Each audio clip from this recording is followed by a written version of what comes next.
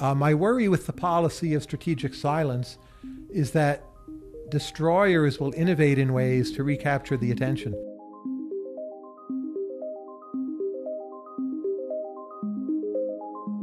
Now, Tyler, I ran into an idea that I hadn't heard codified with and labeled with a phrase before um, called strategic silence. And I, I, read about this in writings or speeches of danah boyd, uh, who works with uh, Data and Society Institute. The idea behind it is that if you have predictable, reliable news coverage, it allows somebody who, let's say, wishes to undertake a terrorist action to know that they can count on you to amplify their message because they have the ability to create news. They are not just news takers, but news makers.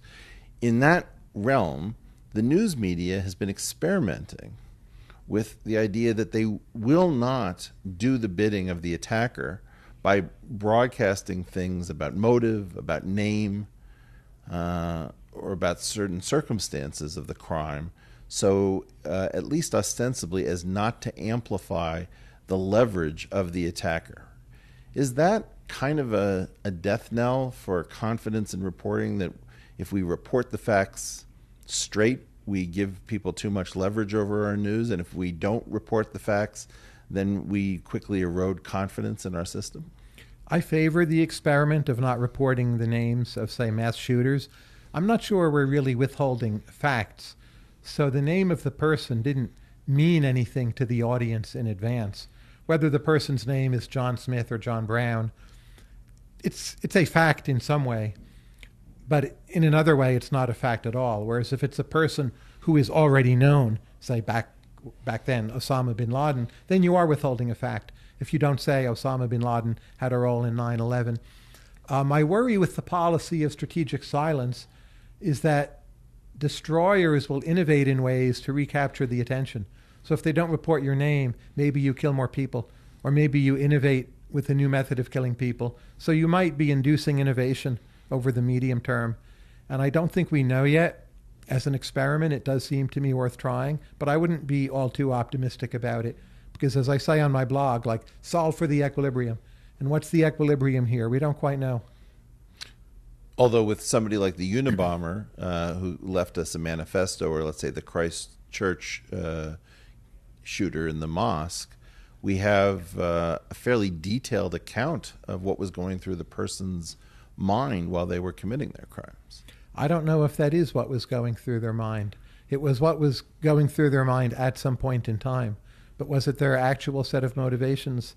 Uh, I don't they, feel qualified to judge, but I wouldn't just take that for granted or take it quite literally. But would you feel uh, comfortable in suppressing the dissemination of such a document? I don't think it's possible to suppress that uh, the way the internet and other institutions have evolved. I wouldn't do it either. Uh, but in any case, it will get out there. So if we decide, oh, it's not going to be on Facebook, uh, uh, as you well know, there are other parts of the internet where it just can't be taken down. That's an interesting place where I think I disagree with you. I don't disagree with you that we can't stop uh, the document from being on the internet and a very determined person in their ability to find it.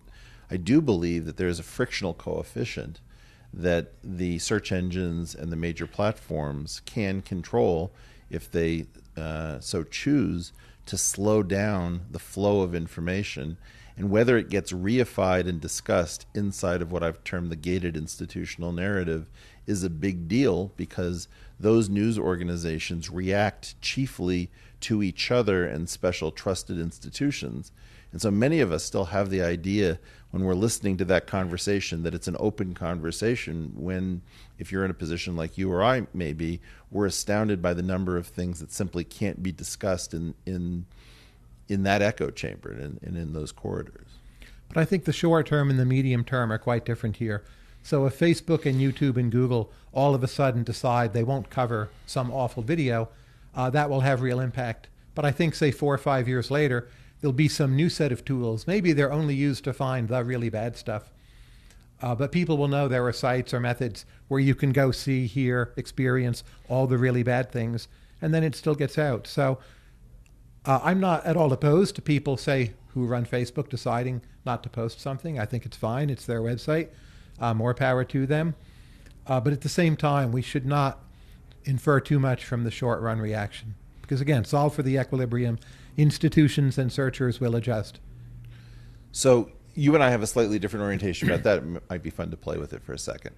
I think I've inc- I used to hold a position that these companies had the right to do what they wanted. Yes. And I, I've started to change my opinion on that based on the idea that if I define the public space uh, relative to private space, I can find only private space on the internet. I, I need to hire a company to allow me to get an on ramp in the form of an ISP, and that in general, uh, unlike a city uh, with parks and um, institutions of government, I really can't find any public space on the internet. And so, if the whole thing is private, I feel like it's absolutely essential that we place much more restrictive um, rules about what can and cannot be prohibited on the internet because there is no public space from the get go. Am I way am I way off?